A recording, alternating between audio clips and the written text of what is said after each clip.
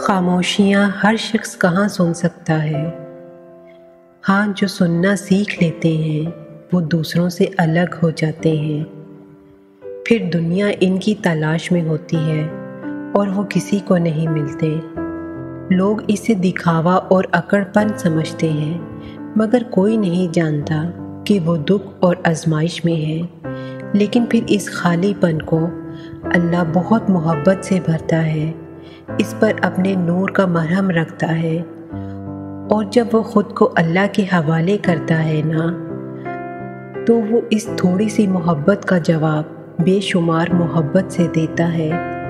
उसका रबता दुनिया से ना होने के बराबर हो जाता है, क्योंकि मरहम रखने वाली ज़ात ही तो असल मोहब्बत है। बेलोस, बेगर्ज मोहब्बत, वो जिसे छूता है मोहब्बत कर देता है, नूर बना देता है।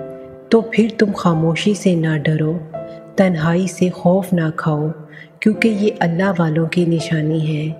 पहला जीना मोहब्बत है, इसके बाद खैर ही खैर मुकद्दर है। तुम अपने रब की हमतों को नहीं समझ पाओगे, ना समझ सकते हो।